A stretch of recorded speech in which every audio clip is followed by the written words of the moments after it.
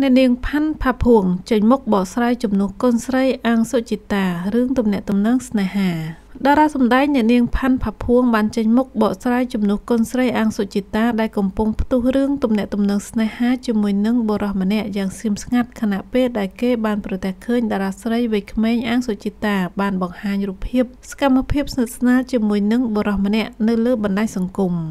អ្នកនាងផាន់ផាភួងបានបញ្ជាក់យ៉ាងខ្លីប្រាប់កសនភាពតាមរយៈសារអេឡិចត្រូនិកថាអ្វីដែលមហាជនបានឃើញកូនស្រីអាងសុជីតាបង្ហោះលើបណ្ដាញសង្គមខាងលើនេះគឺគ្រាន់តែជាការសិទ្ធស្នាលធម្មតាបែបមិត្តភ័ក្តិប៉ុណ្ណោះពលមិនមានទំនាក់ទំនងស្នេហាអ្វីនោះឡើយអ្នកនាងថាសកម្មភាពនោះគ្រាន់តែជាពួកម៉ាក់គ្នាគ្នាគាត់ប៉ុណ្ណោះមិនមែនមានទំនាក់ទំនងស្នេហាអ្វីឡើយក្នុងពេលដែលនាងក៏បានសួរនាំកូនស្រីដែរហើយគាត់ក៏ឆ្លើយថាមិនដឹងរឿងអ្វីដូចគ្នាចំពោះការចេញមុខបកស្រាយស្រ័យខាងលើពីអ្នកនាងផាន់ផាភួងនេះពេលនេះបានធ្វើឡើងបន្ទាប់ពីតារាសម្ដែង អាងសុជីតាបានបង្ហោះរូបភាពស្និទ្ធស្នាលដោយអមដំណើរក្នុងរថយន្តជាមួយនឹងបរិសវ័យក្មេងមួយរូបតាមរយៈបណ្ដាញសង្គម TikTok សកម្មភាពនោះបានក្លាយទៅជាការចាប់អារម្មណ៍ពីបណ្ដាអ្នកលេងបណ្ដាញសង្គមក្នុងពេលដែលមានមហាជនខ្លះបានចាត់ទុកថាបរិសរូបនោះអាចជាគូស្នេហ៍របស់អាងសុជីតាមិនមែនជាមិត្តភ័ក្តិនោះឡើយជាការកត់សម្គាល់រហូតមកដល់នឹងពេលនេះតារាសម្ដែងអាងសុជីតានៅមិនទាន់លេចលឺឬក៏បង្ហាញទំនាក់ទំនងស្នេហាពិតប្រាកដជាមួយនឹងបុរសណាម្នាក់ជាសាធារណៈនៅឡើយទេបើទោះបី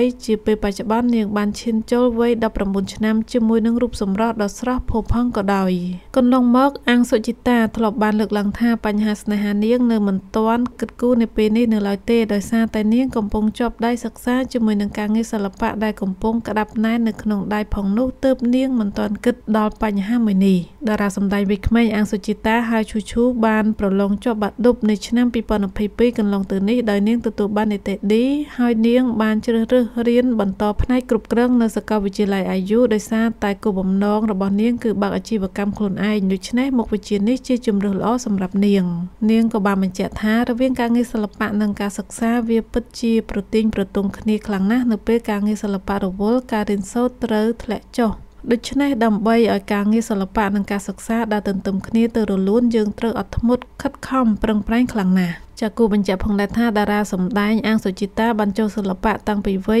7ឆ្នាំមកដោយសម្ដែងក្នុងកុនដំបងរឿងម្ចាស់គំនុំម្ចាស់ស្នេហ៍ហើយរហូតមកដល់នឹងពេលនេះតារាសម្ដែងមានវ័យ19ឆ្នាំរូបនេះធ្លាប់បានសម្ដែងកុនភាគនិងកុនខ្នាតធំរហូតដល់ទៅជាង20រឿងមកហើយ